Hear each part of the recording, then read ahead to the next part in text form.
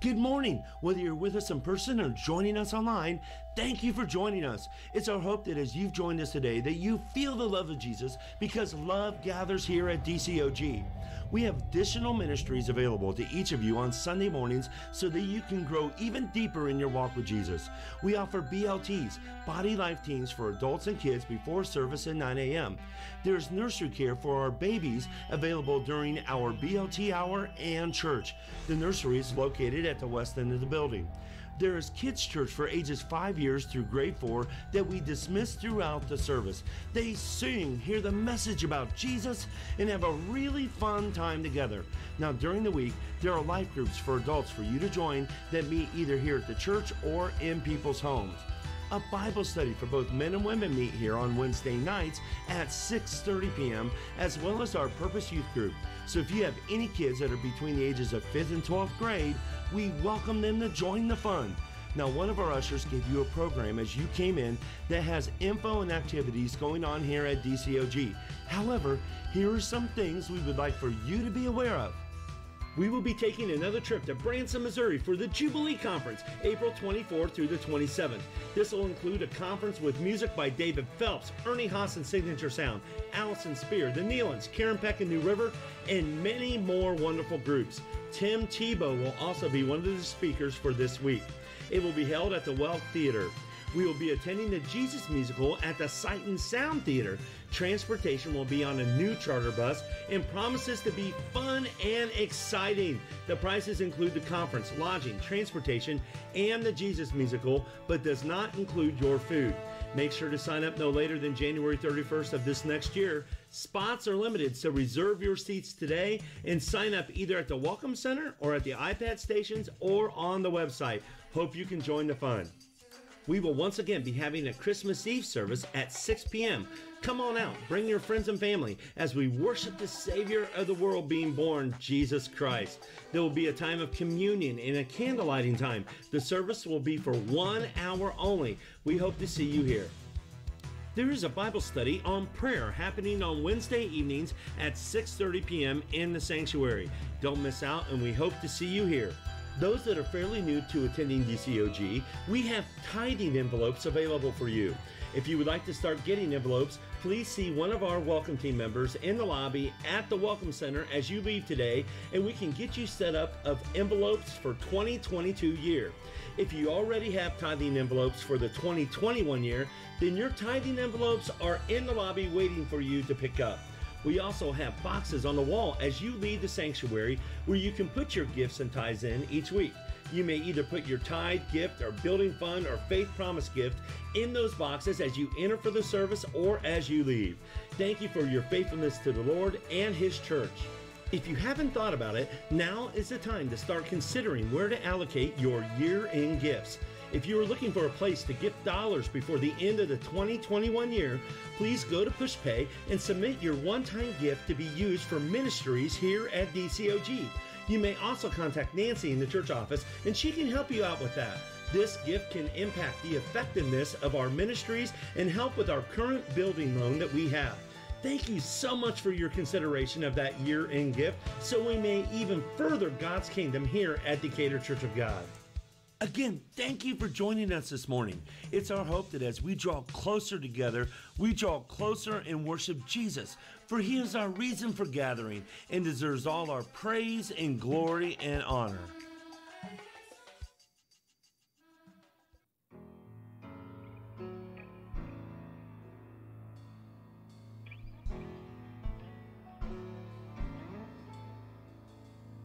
Go tell it on the mountain, the one that we have been waiting for, the King of our salvation. Born on this day, our Savior Christ the Lord.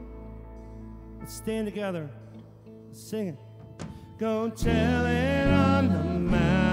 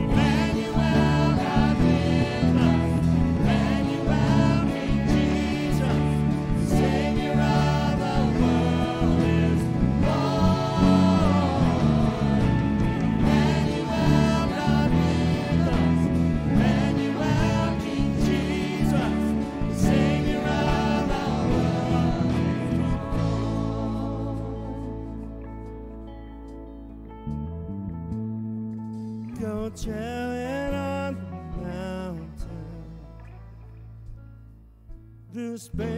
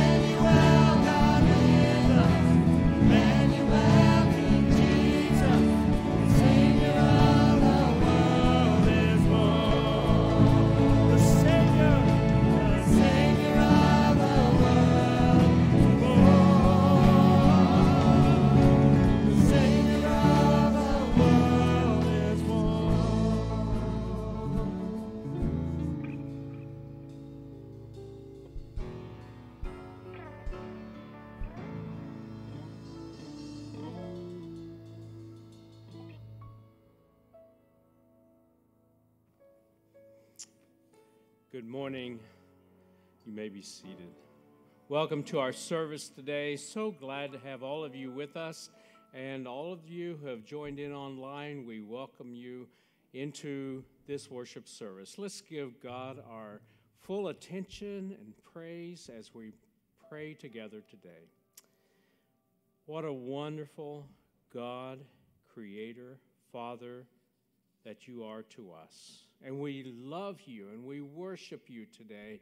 And thank you for your gift of Jesus Christ, your Son, to the world that you love. And Father, we have come to celebrate together this time of year in which we remember the greatest gift given. As we worship here today, may our meditations and our prayers and our singing be of glory to you, for you are worthy of all our praise. In Jesus' name, amen. Good morning, family. We light our third Advent candle, the candle of joy. The joy of the Lord makes our hearts sing. The joy of the Lord brightens our days and lightens our load. The joy of the Lord is unspeakable and full of glory. It helps us recall God's promises. The joy of the Lord is accessible every day, all day. It gives us the strength that we need to stand. You see, everything written in the days of old was recorded to give us instructions for living. We find encouragement through the scriptures and a call to perseverance that will produce hopeful living. I pray that our God, who calls you and gives you perseverance and encouragement, will join all of you together to share one mind according to Jesus the Anointed.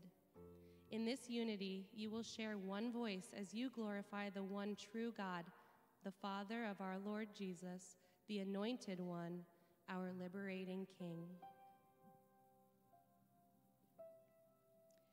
We thank you, God, for loving us and sending us your Son that we might be saved. Father, we are forever grateful.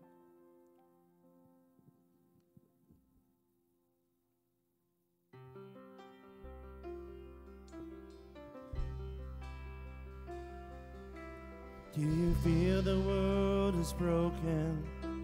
We Do Do you feel the shadows deep and sick? Do dark and stop the light from getting through. We do. Do you wish it? you?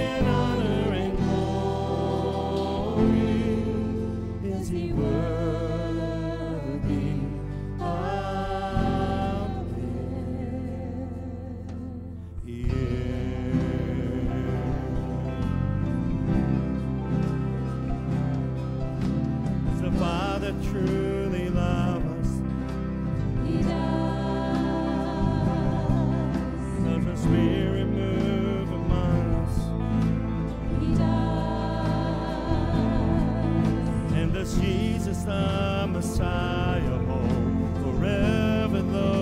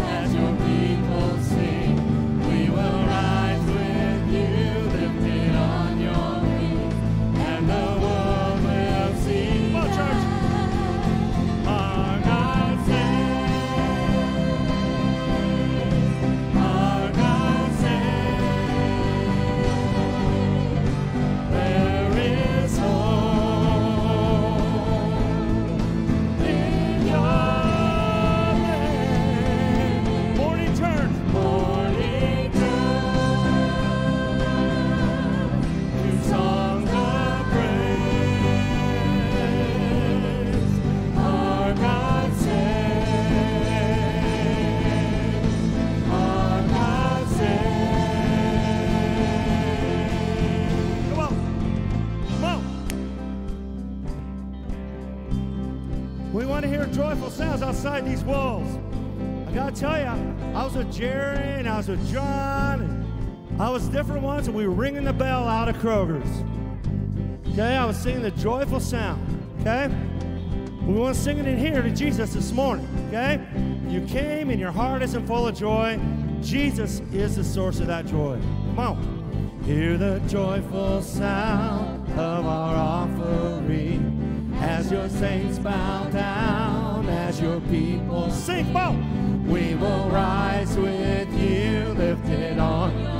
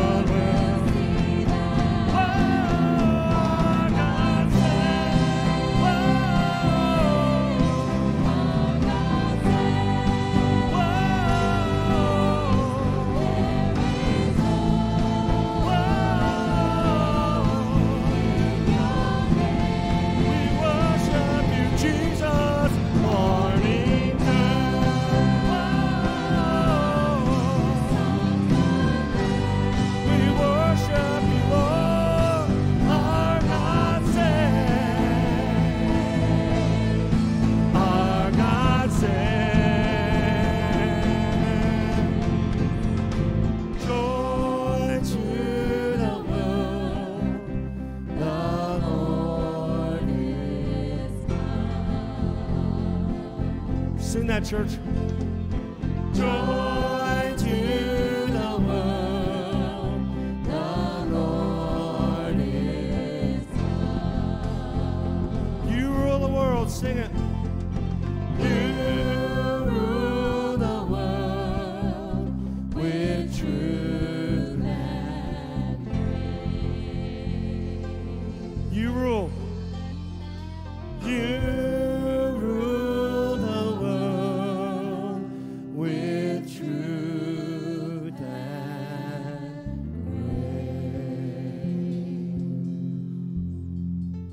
praise to Jesus this morning.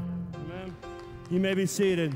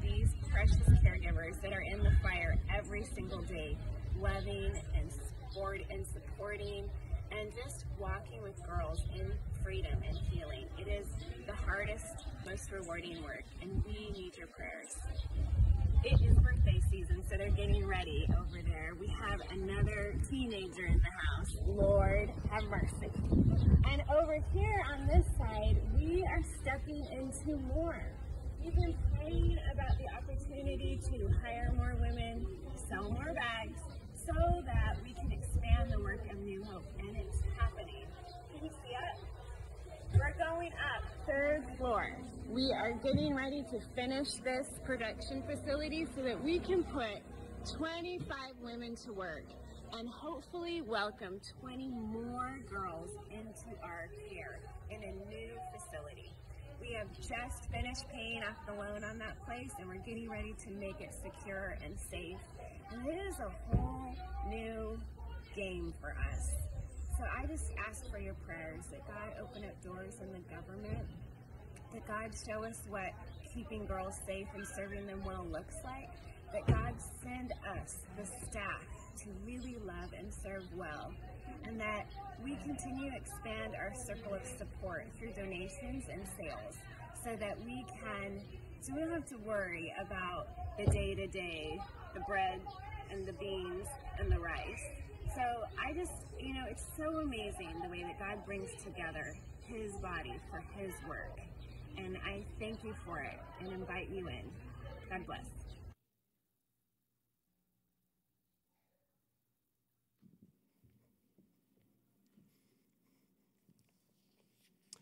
Our children are dismissed to go to kids' church at this time, and as they are leaving, let me just say that this young lady that you have just seen uh, is going to be our speaker at Faith Promise uh, in February. And you can see she's a person of vision and true commitment to the Lord. She's going to challenge us well. And as we come into the end of this, uh, this uh, calendar year, there are many opportunities to give to, to things that will make a difference through this church. Whether it's through Faith Promise, as uh, you finish up the year, you want to give more to missions, you're welcome to do that. Uh, whether it's to uh, uh the building and facilities, whether it's through different ministries that we have at the church, uh, we encourage you to pray about it. And uh, that year in giving uh, will make a huge difference. And you can do that as you saw on the announcement video earlier as we were beginning, that um, you can give either through the tithe envelope, you can give through push pay. That's how I do it. I love it. It just man, three strokes, I'm there. And uh, it's a blessing to give. And as we give, God blesses us to, to do even more. We become conduits of God's graciousness, not only to this church, but through this church to the community around us and to the world, as you see, because we sponsor this ministry that uh, you've seen here on the video. And you can give. Uh, uh, we have offering boxes at the back of the church there next to the doors. And uh, I just want to commend you, congregation. You've been so faithful in giving. And, and uh, through this COVID season, we've learned how to give uh, quite uh, quietly and anonymously there in that box. And it's been incredible what you have done. And I just commend you all. You're a very loving, generous church. What a joy to be a part of all of you. We have a number of special requests before us today as we go to God in prayer. And uh, our hearts have been greatly uh, moved and saddened by the tornado outbreak across the southern part of, uh, of our country and, and the tremendous loss of life. We want to pray for them today. And we also want to pray for those in our church. Um, Phyllis Lehrman's uh, family, as uh, she passed away Friday evening, uh, 99 and a half years old. What a fruitful life. And if you didn't know Phyllis, I would go visit her from time to time, and uh, she could keep me on my toes theologically as we talked about the Bible. She was an incredible, incredible lady.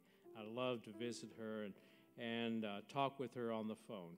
And uh, we'll be seeing that service uh, Wednesday at, uh, at the funeral home.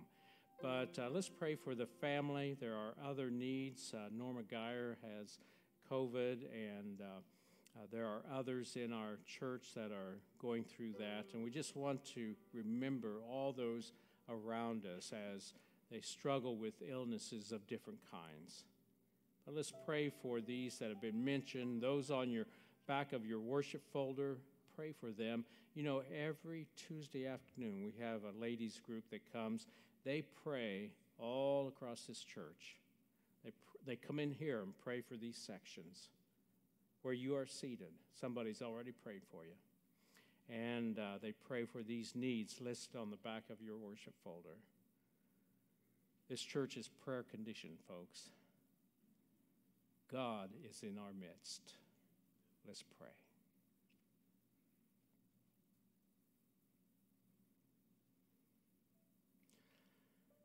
The privilege of prayer is one that you have given to us. There is power in prayer. There is peace as we pray. There is strength as we turn to you, our Father, for we know you care about us and you provide for our needs in ways that we cannot see and sometimes in ways we do not expect,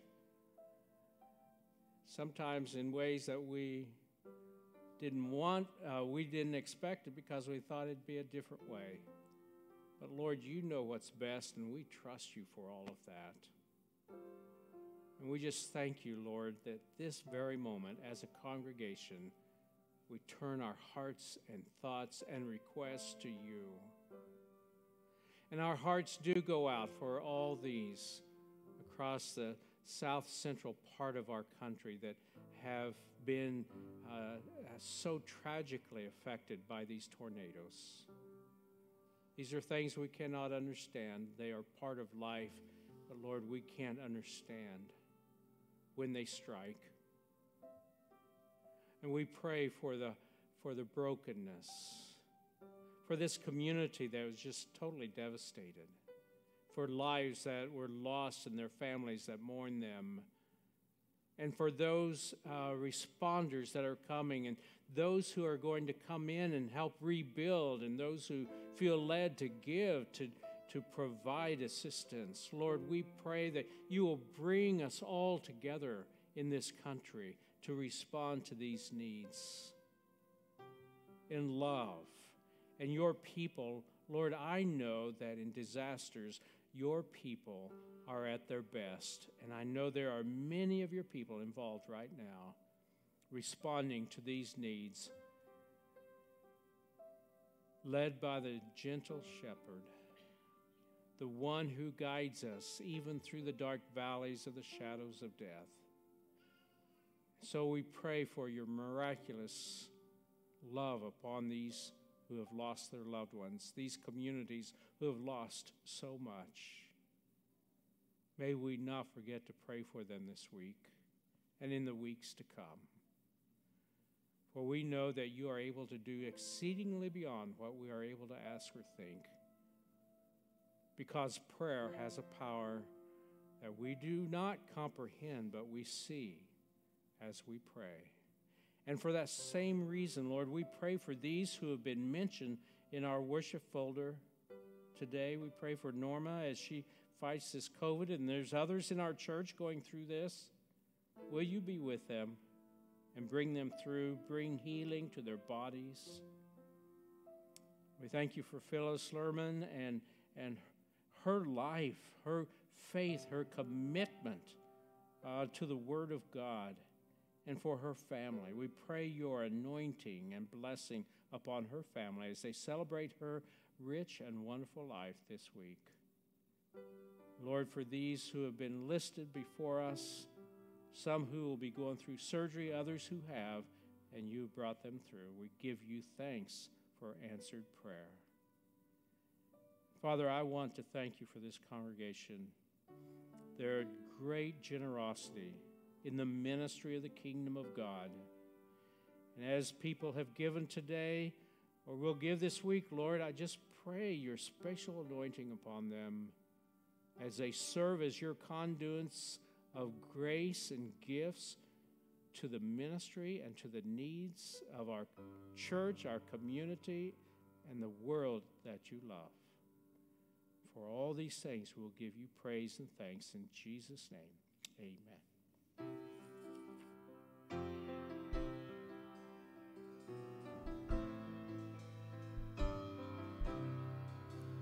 Night of one, still in the heaven's brilliance from above. Sing it. Light of glory, pierce the darkness, mercy pierce my heart with love. This is Jesus, King of glory, here to rescue Son of God, who comes to save us, Prince of Peace and Lord of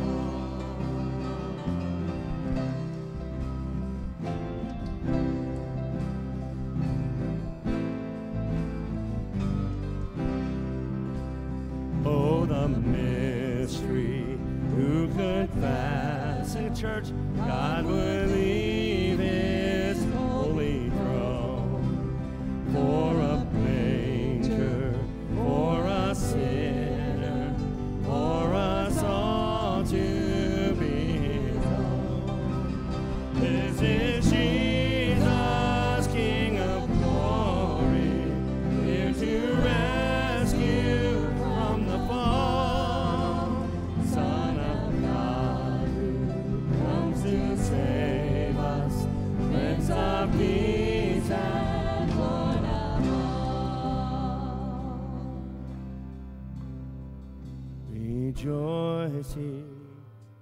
is with us.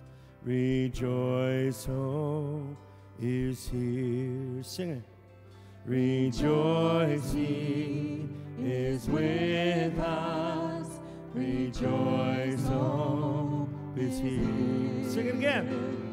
Rejoice, He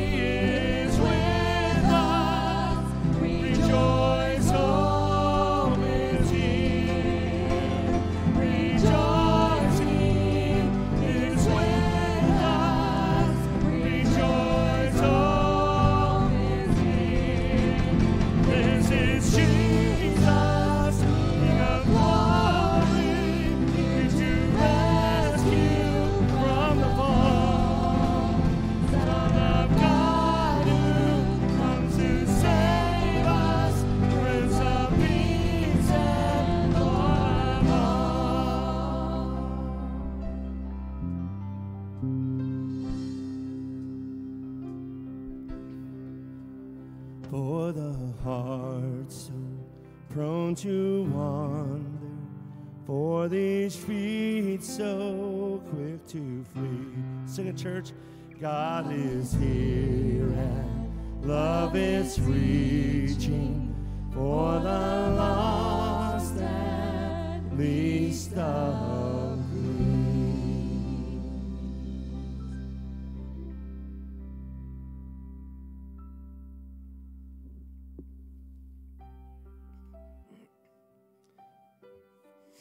Thank you, Pastor uh, Jamie and worship team. Uh, you just bless us week after week, and we sure appreciate you.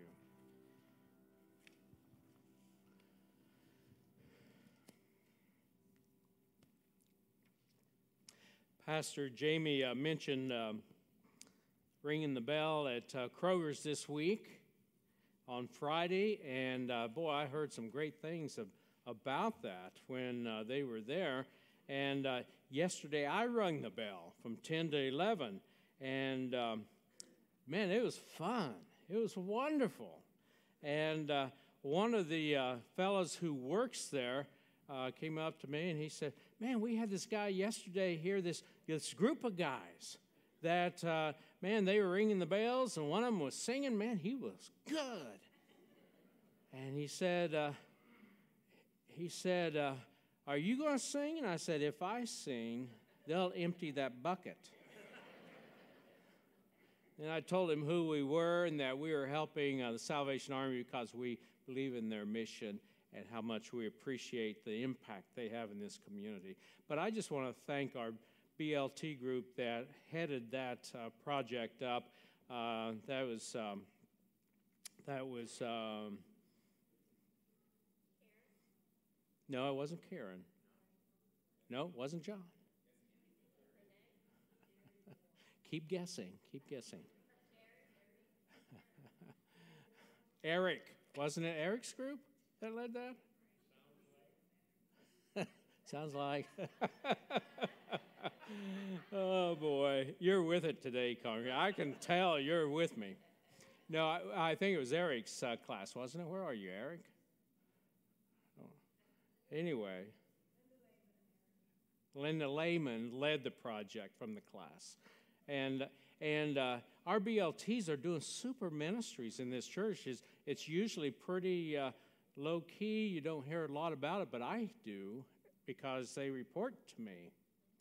And I, they tell me what they're doing. And man, I'm just inspired by our, our BLT. It doesn't stand for bacon, lettuce, tomato, it stands for Body Life Team because these teams put together their ministry to one another and uh, in the Word of God and to the community and to the church. And they're all doing wonderful, wonderful things. Throughout this year, it's been incredible to watch them in action. And I, I thank the Lord for them.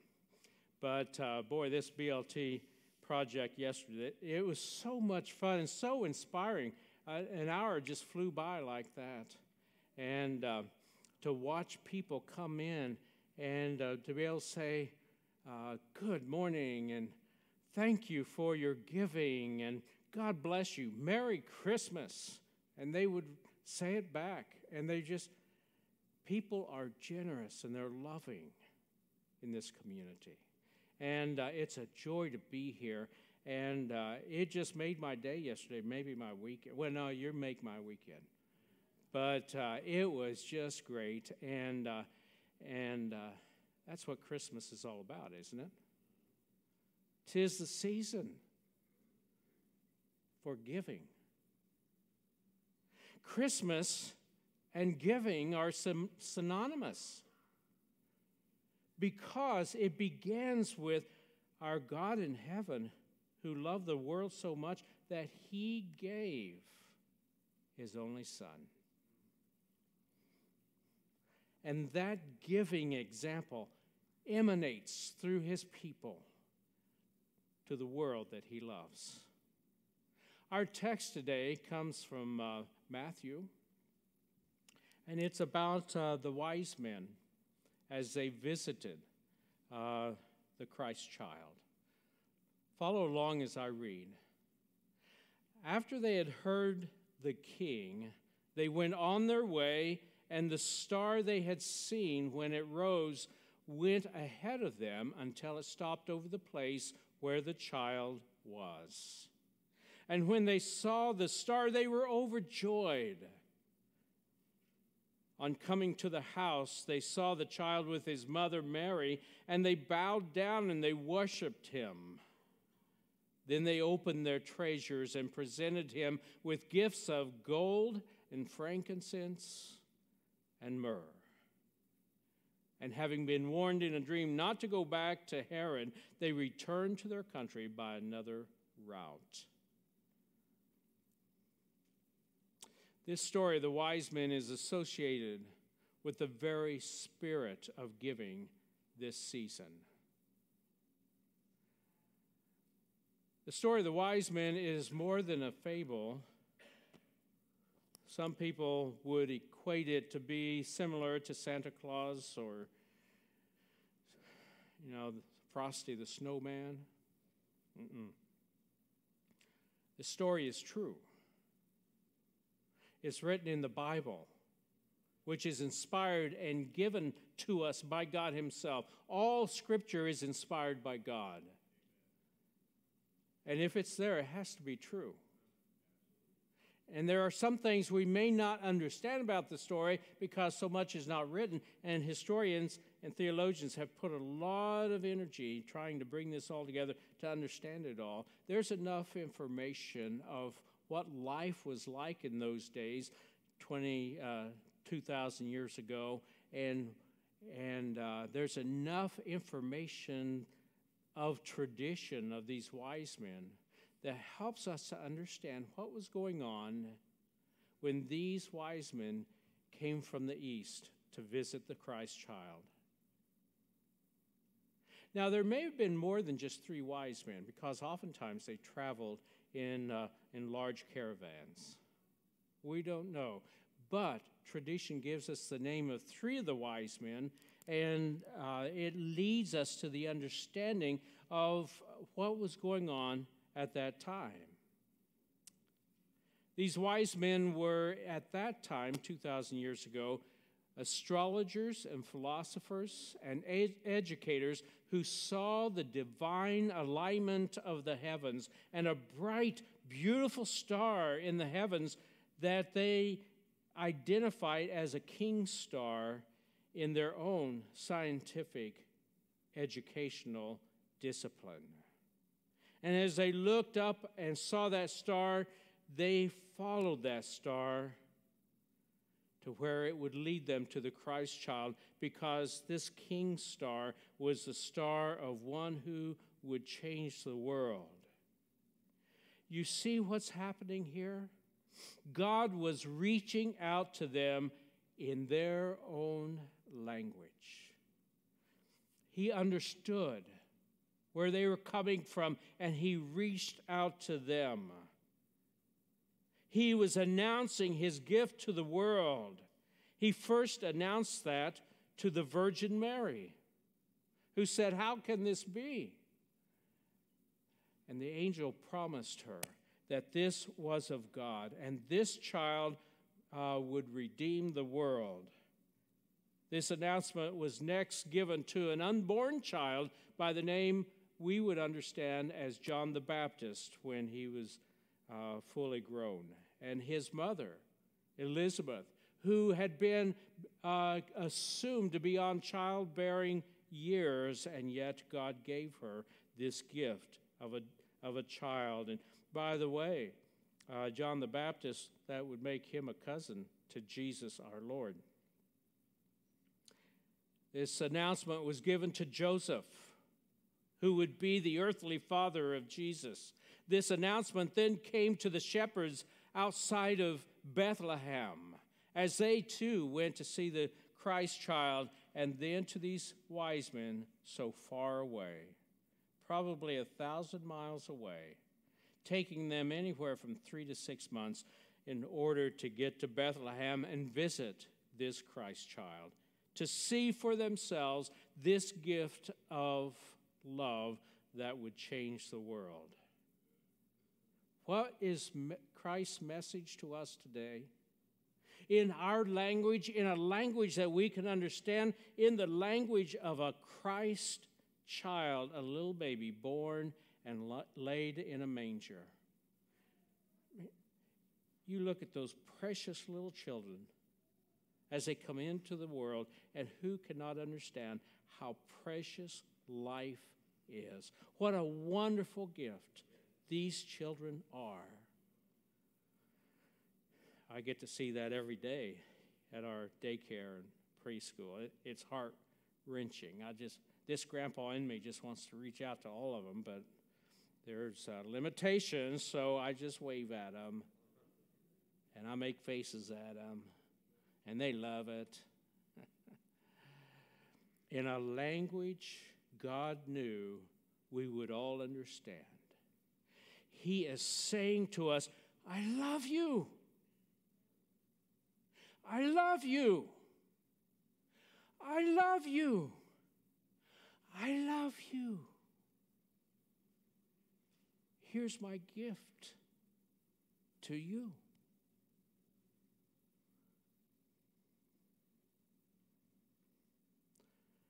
That thought has overwhelmed me this Christmas season. But today I want to ask you what's on your gift list this year? May I strongly urge you to give these three gifts? First of all, give the gift which is fitting for the king. King Jesus. The wise men, as they traveled, as we know, three of them identified.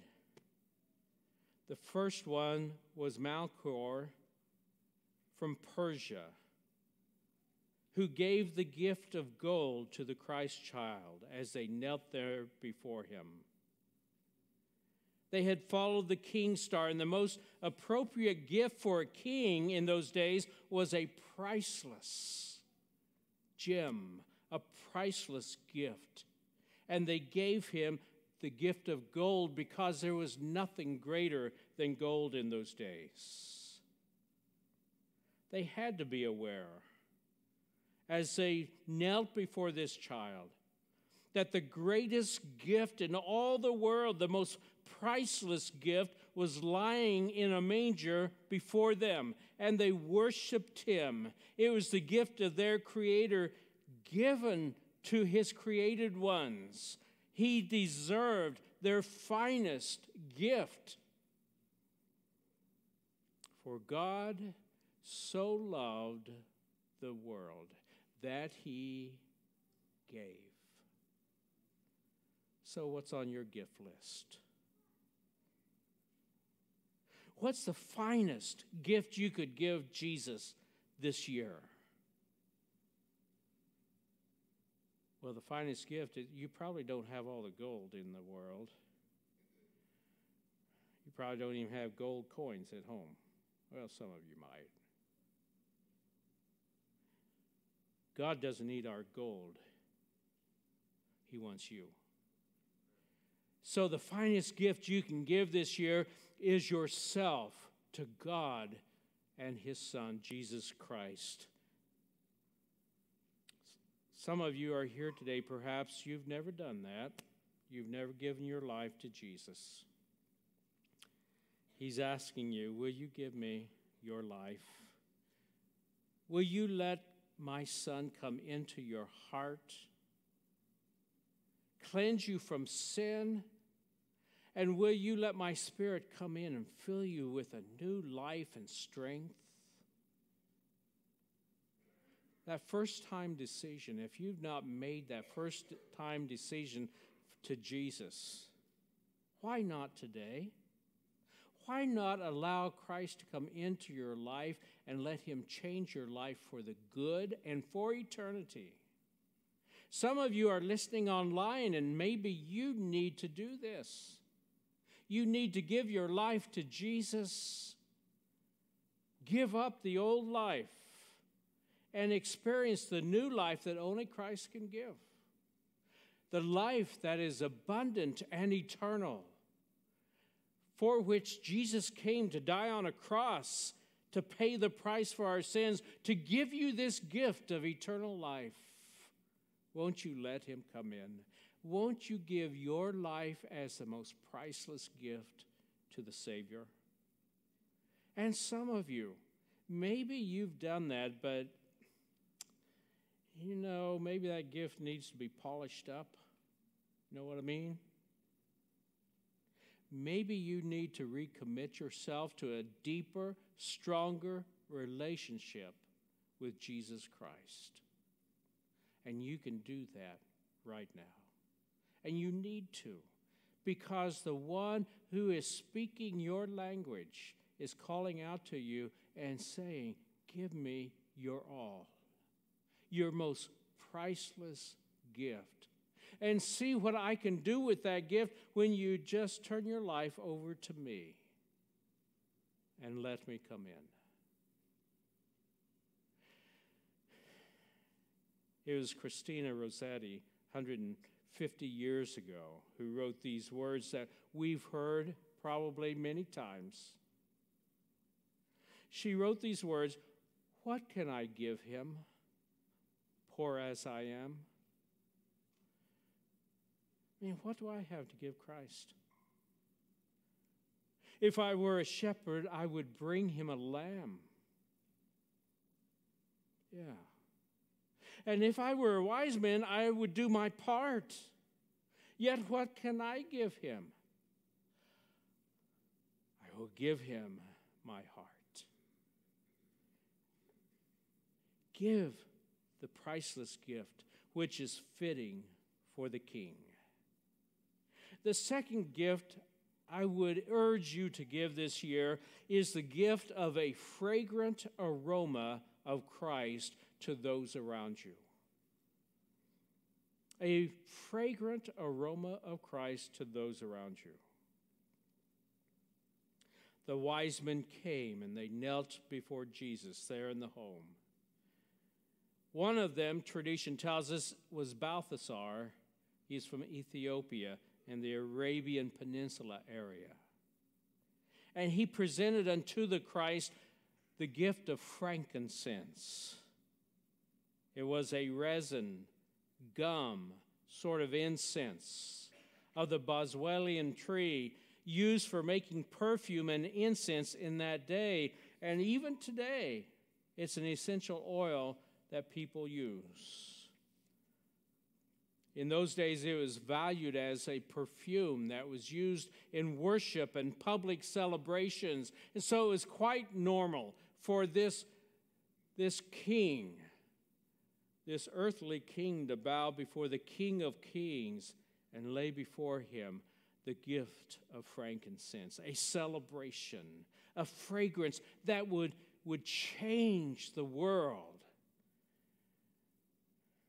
through the centuries, the gift of frankincense has become symbolic of holiness and righteousness in the Christian church and in our celebrations and, and special services in the church around the world for 2,000 years. This, this frankincense has often been used in the assemblies of God's people, bringing a beautiful scent into the community of those who have gathered. And it has represented holiness and righteousness. What is righteousness? Righteousness is a condition and it's a position. The position, if you can picture it, is one of standing before God. Standing before God. And as you stand there before God, it's with the recognition that your only worthiness of standing before Him is because He has forgiven you. And so, as you take this position, you're in a new condition standing before God, and that condition is one of rightness. No longer is sin bound upon you, but you stand before Him in, in what the Bible describes symbolically as a white robe of righteousness. You stand before Him justified your sins have been forgiven and wiped away. And you stand as a justified person before God just as if I had not sinned. Because Jesus Christ has taken away the sins of the world. And when you come to Jesus, you have your sins cleansed from your life. So, what is holiness? Was living the righteous life. Holiness is living a life of integrity and purity and honesty and generosity and justice and love for others. I like to call it godliness in motion letting the love and the purity of my Lord and Savior live in me and living it out in the community where I live, in the world that God loves. That's holiness. And so there are things we do not do. And in the church, we've gotten, in the past, we've gotten so focused on what you don't do that we forget the joy of what we ought to be doing. But you know what? The only question you need to answer is Is what I'm doing bringing honor and glory to the Lord? And is it demonstrating to the world this integrity of, of Christ and this purity and this honesty, this generosity, this justice, and this love for others. The Apostle Paul told the church at Corinth, he says, We are to God the pleasing aroma of Christ among those who are being saved and those who are, being, who are per- perishing. We are the aroma of Christ. I think back many people in my lifetime that have demonstrated the aroma of Christ to me. One of those dear friends of mine years ago, his name was Doug. He's still living among us.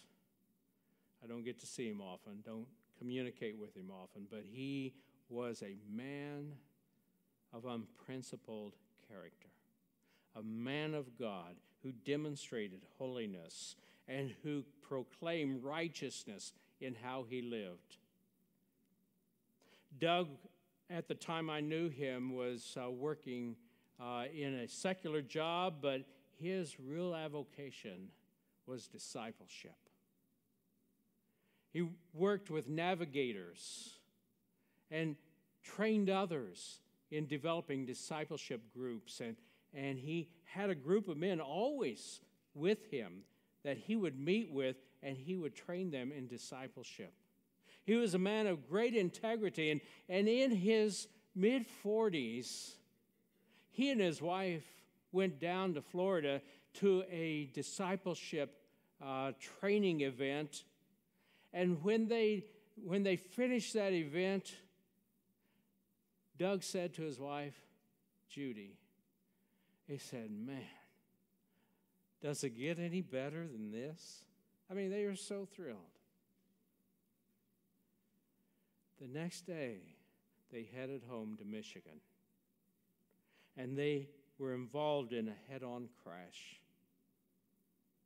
For Doug, it just broke bones in his body.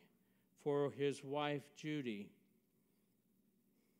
not only the broken bones, but severe head trauma. They wondered for a long time if she would even live. And constantly, Doug was thinking to himself, I thought it couldn't get any better. Why, why this? His life was tragically changed. And then Judy did come through. She did, she was healed.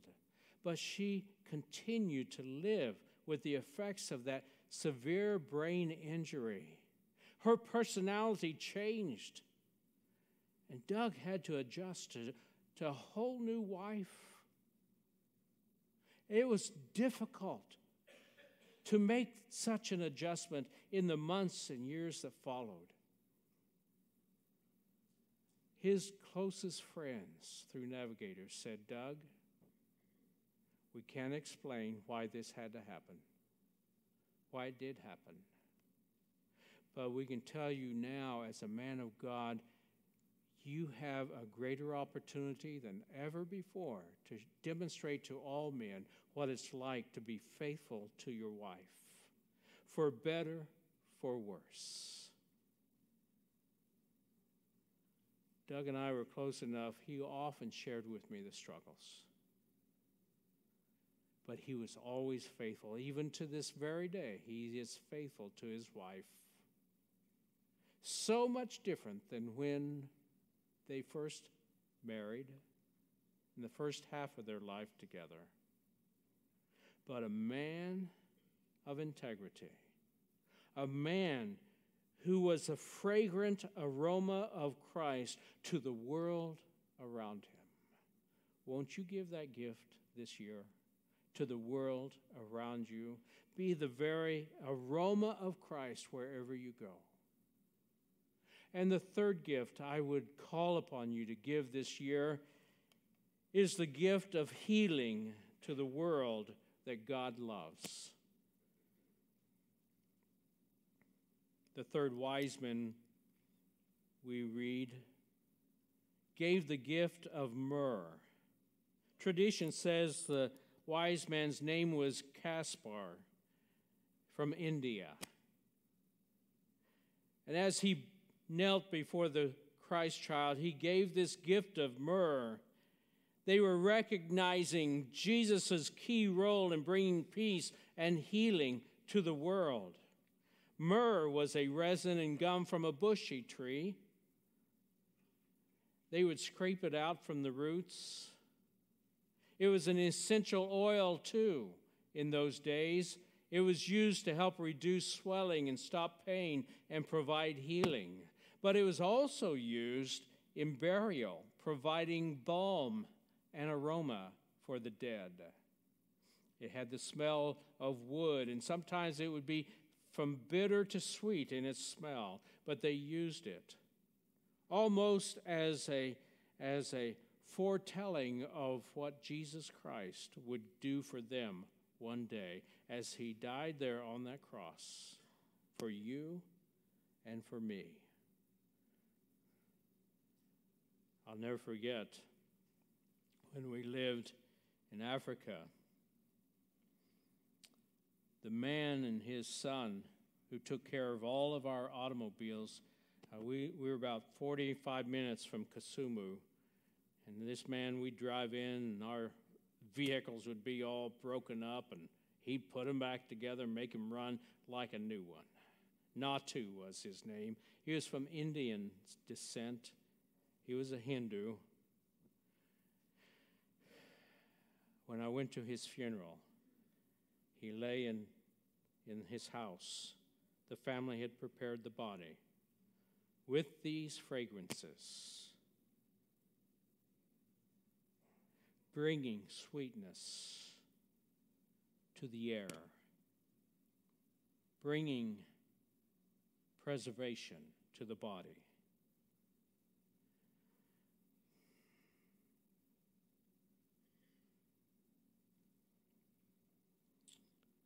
As the Father has sent me, Jesus said, even so send I you. When we have Christ living in us, we too can provide the healing balm in our world, and that's our mission. Jesus has sent us into the world to be his hands, his feet, his voice, his compassion to a world that sorely needs it.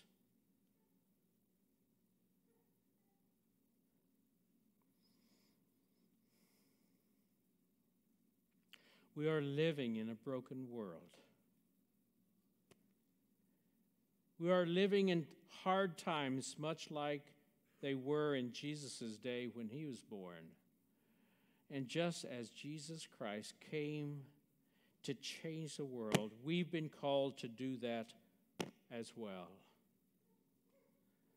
Right after Chris and I got to Africa,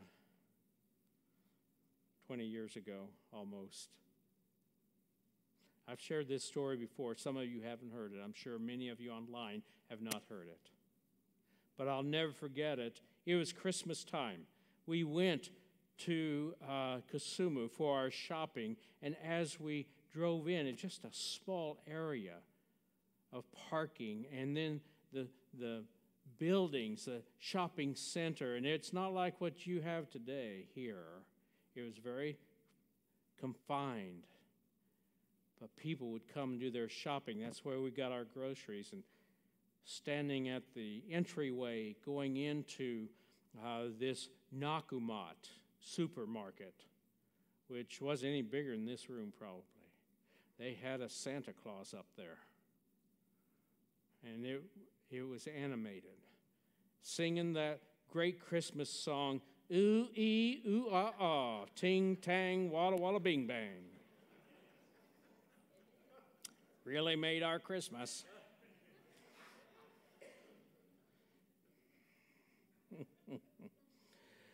After we did our shopping, we came out. We were with our dean, and she wasn't quite done, so we put our our groceries in her car and waited for her. And as we were waiting in this very tight parking lot, all of a sudden, a naked man appeared.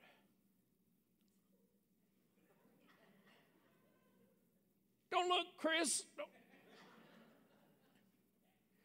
The crowd had gathered around him.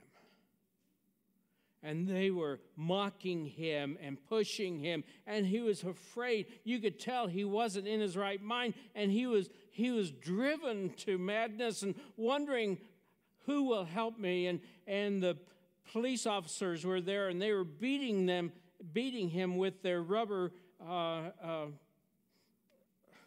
mallets, uh, belts. They were beating him and he was crying out. And all of a sudden, in all of this melee and all of this chaos, and we were standing there, and he was as close to us as Chris is to me right now. And we were wondering what's going to happen next. And all of a sudden, another African man steps in and he says, Stop! Everyone got quiet. The police backed off.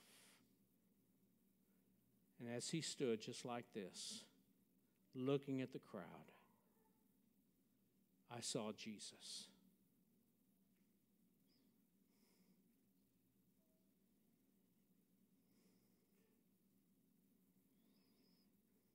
You and I are called to intervene. And for God to work His way in our lives and in our world so that we can stop the chaos and madness of this world.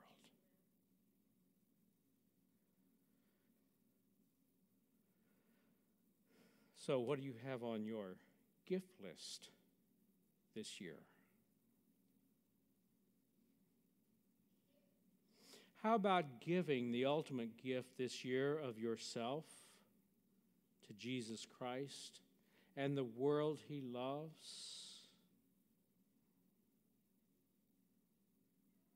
How about giving the aroma of Christ in a dark and despondent world? How about bringing Christ hope and healing to those who are spiritually dead and those who are overcome with sadness and pain and make this world a better place? Tis the season for giving. And if you have all if you have Jesus in your life, you have all these things to give.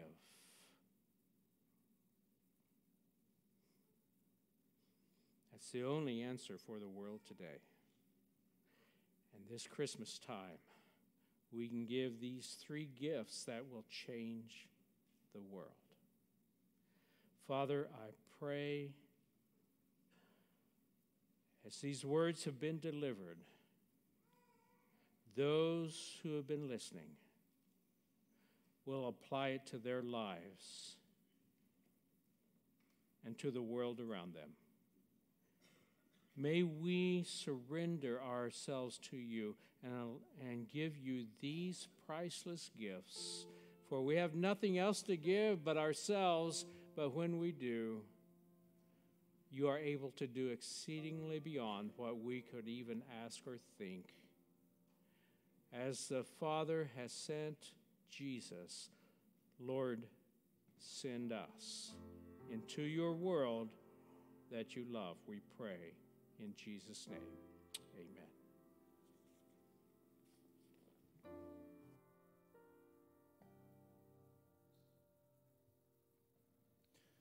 What can we bring?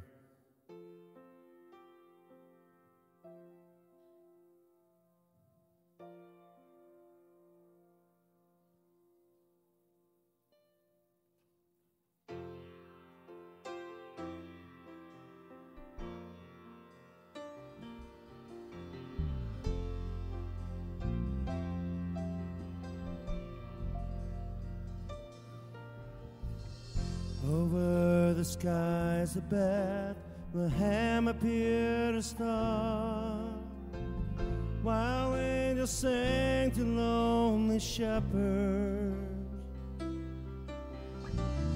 Three wise men seeking truth, they travel from afar, hoping to find the child from heaven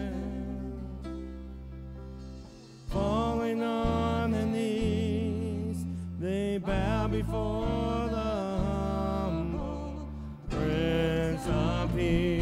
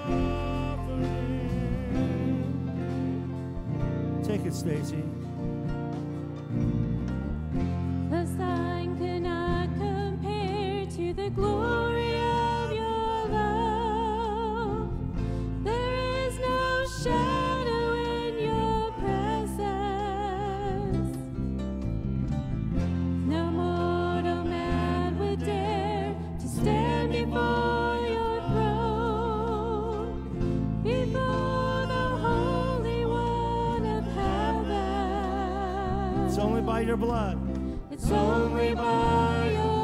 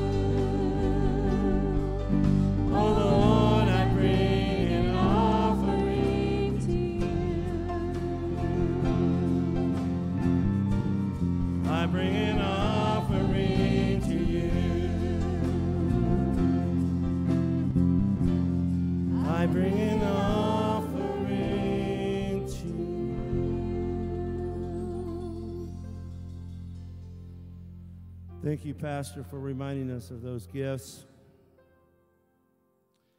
Is interesting, you know. Um, he was mentioning, you know, ringing before and just encountering people.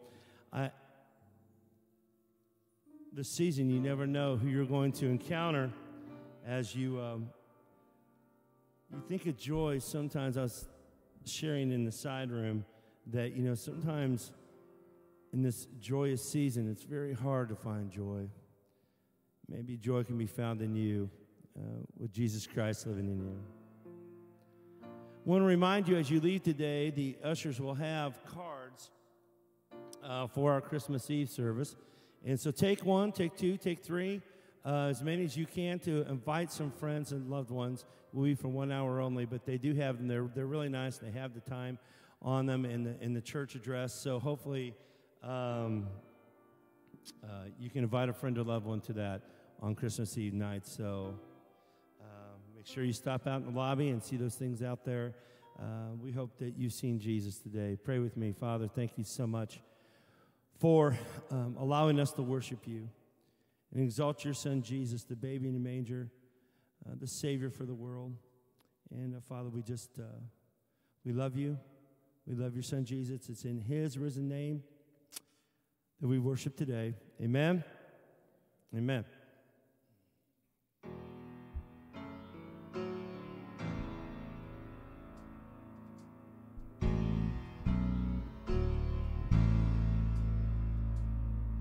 Go tell it on the mountain, the one that we've been waiting for, the King of salvation. Born on this day, our Savior Christ alone. Sing it, go tell it on the mountain. Come on. Go tell